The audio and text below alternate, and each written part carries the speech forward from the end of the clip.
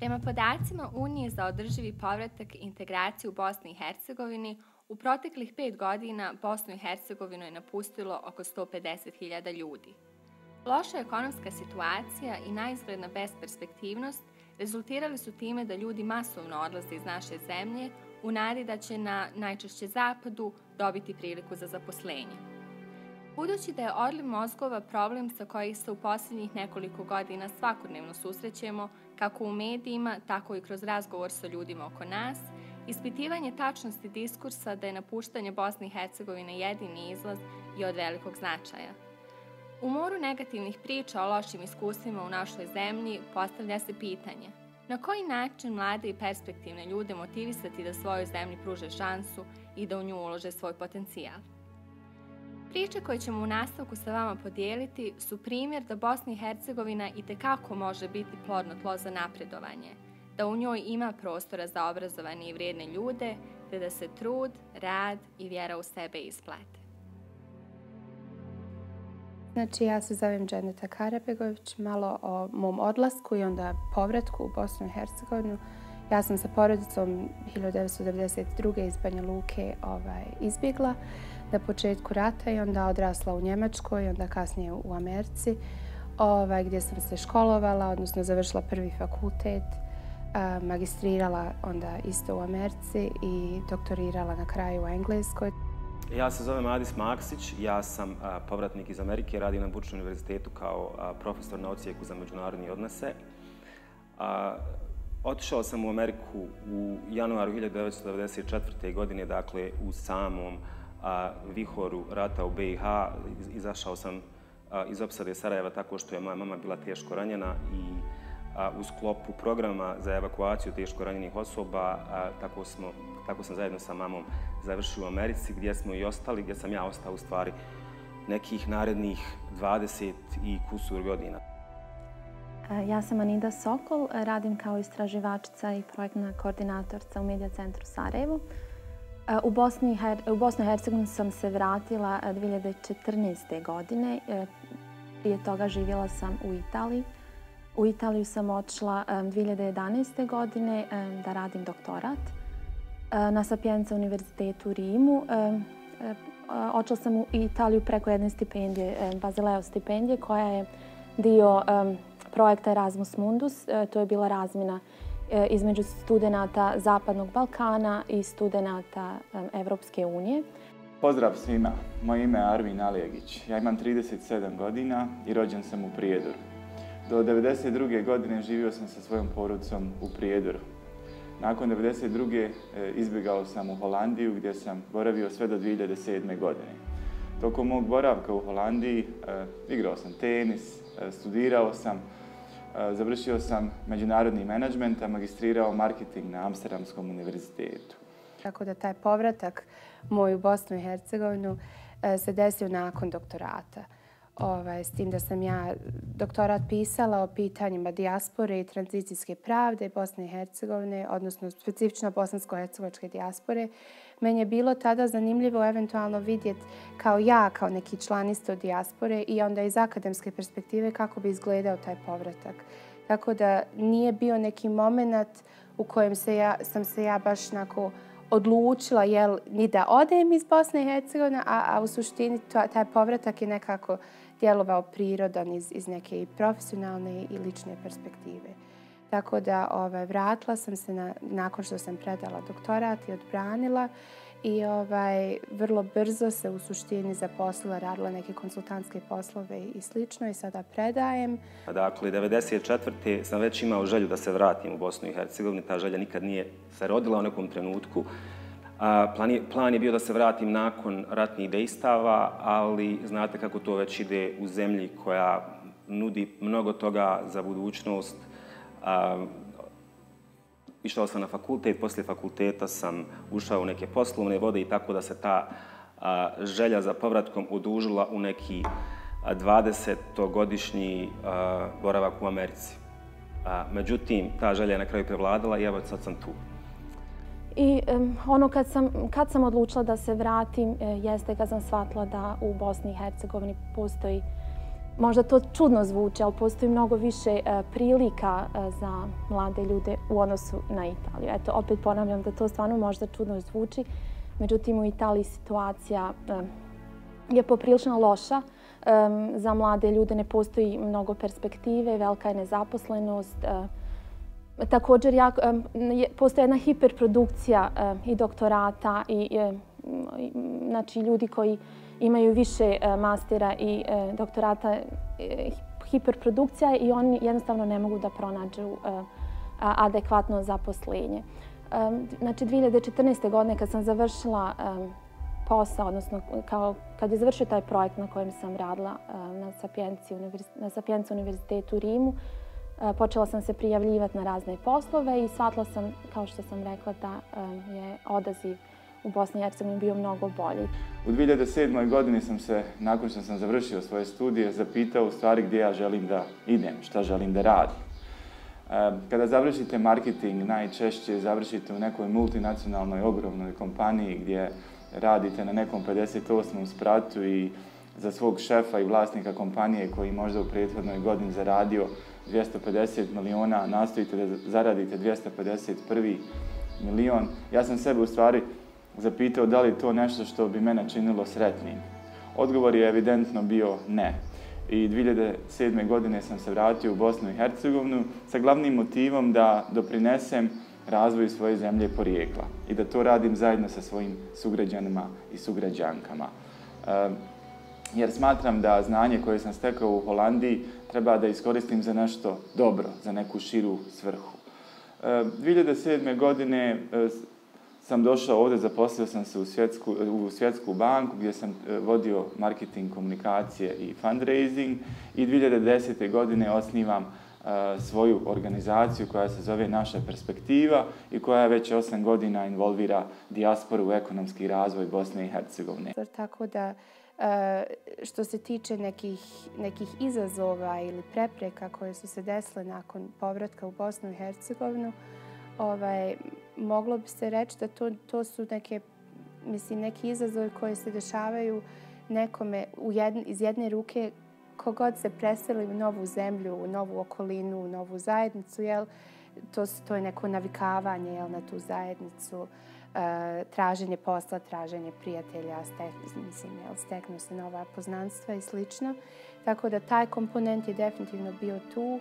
Um, ali isto tako ovaj, neke sitnice kao na primjer ja, ja sam jel, napustila Bosnu i Hercegovinu kad sam bila vrlo mala, tako da ovo je prvi put bio da se ja vraćam u Bosnu kao odrasla osoba, jel, da, da živim ovdje, da ne provodim samo neko određeno vrijeme koje je baš ono fiksno. Jel.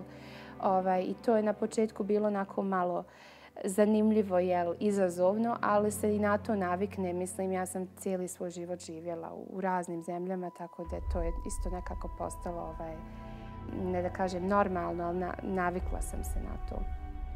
E, često me pitaju kad, kad nakon što sam se vratila i dan danas, jel, ja sam se vratila prije neke dvije godine, ovaj, pa zašto si se vratila kao, ne mogu vjerovati, ja je, mislim, sa američkim državljanstvom, zašto bi se vratila u Bosnu i Hercegovinu. I men to nije nikad bio taj neki, um, ili nikako da se vratim ili, ili da se moram vratiti ili nikad se ne bi vratila. To je, to je čisto, mislim, nije sad neko kajanje, nije sad neko nešto loše, jel? Mislim da u ovoj zemlji ima dosta pozitivnih stvari koje mi vrlo lagano i često zaboravljamo ovaj, od prirode, od, od prilika, od mogućnosti. Ja često govorim ljudima da, mislim, Amerika kakva god velika i divna i stvarno, mislim, e, sređena zemlja, isto tako u njoj su problemi e, ili u inače sređenim zemljama problemi su puno veći, puno teži da se riješe. Jel? E, puno, treba više vremena, treba više ljudi, treba, mislim, puno je teže nešto um, reći na kraju dana ja sam doprinjeo soluciji nekoj.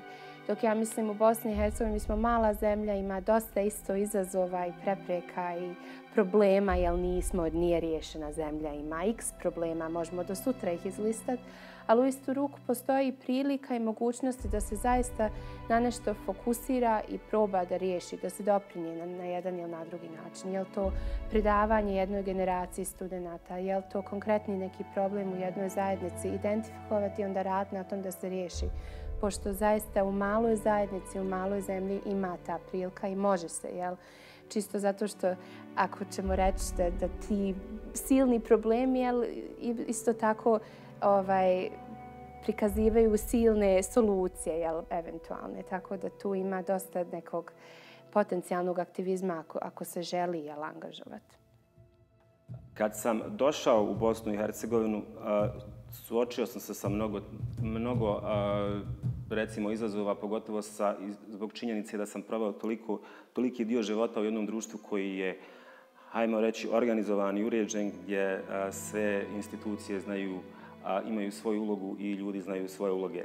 A, naravno, u ovoj, u ovoj zemlji u kojoj a, mnogo toga neštima, u kojoj a, fali a, odgovornosti, odgovornosti političara prema narodu, odgovornosti doktora prema pacijentima, odgovornosti u svim sferama života, a, to je dovelo do nekih, a, do nekih, nekog nivoa frustracije a, sa moje strane. Ali a, ipak, ovo je moja zemlja i a, kada, kad bi uzao globus i zarotirao ga, ne bi mogao da nađe neku tačku planete gdje bih radije htio da budem nego ovdje, tako da a, znate, ovo je jedan čošak svijeta koji ima puno toga da se popravi, ali moj je čošak i a, i želim da učestvujem u tom popravljanju. A...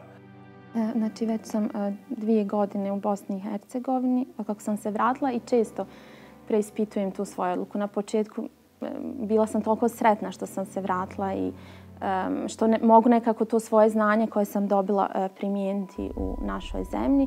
Međutim, stalno se susrećem, da i uz poslu se susrećem sa određenim preprekama i gledam priče drugih e, mladih ljudi koji ne mogu da nađu zaposlenje i e, često ponekad proispitam svoju odluku da li sam trebala o, e, E, da li sam se trebala vratiti i da li ili možda eventualno potražiti zaposlenje u nekoj drugoj E, zemlji Evropske unije, međutim mislim na kraj da sam dobro odlučila i mislim da ću definitivno da ostanem i da potručim se maksimalno, znači koliko, e, koliko god mogu da e, ostanem, da radim e, ovdje i da na neki način doprinosim e, našem društvu. Evo, radim kao nezavisni istraživač u Medija centru, mi se bavimo raznim medijskim analizama, e, bavimo se znači finansiranjem medija, zatim transparent, e, radimo na transparentnosti medijskog vlasništva, pokušamo donijeti e, određene zakone, odnosno pritisnuti našu vlast da donese određene zakone za medijski sektor koji su apsolutno bitni za slobodu medija u Bosni i Hercegovini i na neki način eto drago mi je da koliko koliko toliko mogu doprinijeti um, ovom društvu. Dosta me ljudi u stvari pita da li sam se na neki način pokajao e, e, što sam došao u Bosnu i Hercegovinu. To je jako teško pitanje. Mislim da svaka odluka o povratku nije jednostavna, nije crna i bijela. Tako da odluka o mom povratku nije bila jednostavna. Gledajte, kada se vratite iz jedne uređene države kao što je Holandija i grada kao što je Amsterdam u Bosni i Hercegovini, naravno da, će se, da, da ćete se suočiti sa nekim stvarima koji možda nisu toliko uređene kao u, u tim zemljama i naravno da postoji momenti da sebe zapitate pa Bože zašto sam se ja vratio. Međutim, e, isti taj dan uradite neke dobre stvari, pomognete nekome i onda ovaj, kažete sebi da u stvari povratak je bio jedna odlična, odlična stvar za vas i dobar izbor. Ovaj, I tako da kad me tako pitaju kao pa zašto se vratila, jesu se pokajala ili ne znam nija, ja zaista ne vidim to kao neko pitanje kajanja ili ili ovaj zašto sam se vratila kao neki ne, nešto šokantno što sam uradila. Jel, mislim da je to čisto nešto što je bilo prirodno i nešto što ja smatram da je doprinijelo i mom profesionalnom, ali i, i, i ličnom nekom ovaj, uh, putu, jel, životnom. Uh. To je ujedno i neka moja poruka za, za mlade ljude. A, mislim da je najveći problem u Bosni i Hercegovini apatija, osjećaj da se stvari ne mogu promijeniti. Moja poruka je da se stvari mogu promijeniti, da svi imaju svoj glas i trebaju da dižu svoj glas. Dok god mislite da, da se stvari neće moći da promijeni, onda stvarno i neće moći. A, ali ako budete istrajni, budete a, aktivni a, i dižete glas protiv svih stvari, a mnogo ih ima u Bosni i Hercegovini koji, a, koje mogu da se poboljšaju, a, onda stvarno ova zemlja može da postane jedno jako, jako lijepo mjesto za život, pošto je puna talentovanih ljudi i naravno prelijepa je. Mislim da e, postoji jako mnogo mogućnosti u Bosni i Hercegovini za mlade ljude. Um, mi smo nekako navikli da dobijemo tu diplomu i da nam država nađe posao, međutim to nije tačno. Mislim da je jako bitno kad je riječ o odlasku mladi ljudi iz Bosne i Hercegovine da, ova drž da država i vlasti e, e, stvore prilike za mlade da ostanu prvo od svega da nauče da se mladi e, da kroz obrazovni sistem nauče da sami e, tragaju za zaposlenjem, da sami stvaraju prilike e, za sebe, što je apsolutno znači, broj jedan što je bitno. Dalje također je bitno da, kao što sam rekla, da se omoguće uslovi.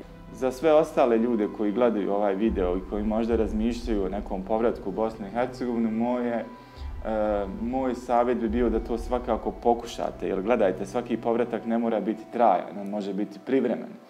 A da e, i svim ljudima želim reći da ukoliko žele da, da pruže svoj doprinos razvoju Bosne i Hercegovine, to svakako mogu uraditi i bez fizičkog povratka u Bosnu i Hercegovinu. To mogu uraditi kroz dijeljenje svojih, e, svog znanja, kroz dijeljenje kontakata koji su stekli širom svijeći i ne zaboravite da ste vi najveće blago Bosne i Hercegovine. Iako, nažalost, postoji veliki broj priča koji u nama bude pesimizam kada je u pitanju budućnost u ovoj zemlji, treba da pažnju posvetimo i onim pozitivnim primjerima. Primjerima ljudi koji su se vratili svojim korijenima i domovini, te svoje znanje, vještine, trud i potencijal koji je Bosni i Hercegovini prijeko potreban u nju investirali. Prethodno predstavljene priče su izvor nade za sve nas. Nade da naša država ipak nije beznadežan slučaj, te da osnovano možemo vjerovati da, ako joj mi pružimo svoje znanje, korist može biti obostrana.